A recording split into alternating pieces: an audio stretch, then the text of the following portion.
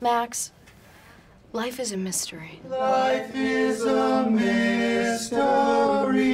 Everyone must stand alone. Everyone must Wait, stand wait, wait, wait. I'm sorry, that doesn't fit with this pep talk. I'm not the same guy I used to be. Max, none of us are. Think this hair is real? Cost me 25 grand. Historically, people don't respond well when the old Oz man gives them the heave ho. But I'll never meet anyone as great We're gonna need a net. Down on the ground. Put your hands where I can see. Whoa. Down. What'd I do? down. On your knees. Get down now. He's usually a very calm man. I do as he says. Okay, just don't shoot. Secure the container, please. Daddy? It's okay, buddy. Everything's gonna be all right. Banana and peanut butter. You're a lucky kid. Looks tasty.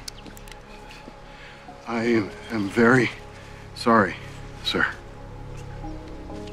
We're with the Serial Crime Division. The crew who pulled this job also robbed two mansions in Orange County. Great. You learn anything so far? The press in Orange County called them the baby faces. They've never been caught on camera, so these renderings are all we've got. What about witnesses? You guys interviewed most of the uh, neighbors?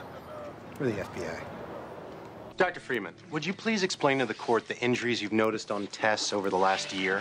And in your opinion, is there any way that the injury could have occurred other than by the intentional twisting of the child's arm? The resistance came together soon after that. For weeks, we were a step ahead of him.